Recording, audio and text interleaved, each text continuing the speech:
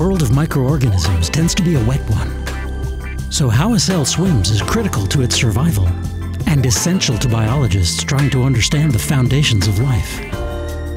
Researchers at UCLA have invented a dual angle, dual lighting computer based lensless camera to record how human sperm and horse sperm swim.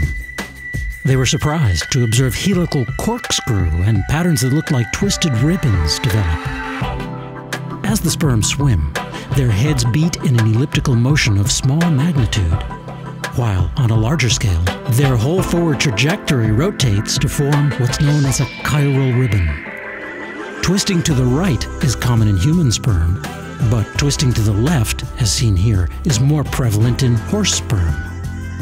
Just why this spiraling behavior evolved is still a subject of speculation, but researchers are now confident that this new tool of observation will help them find out.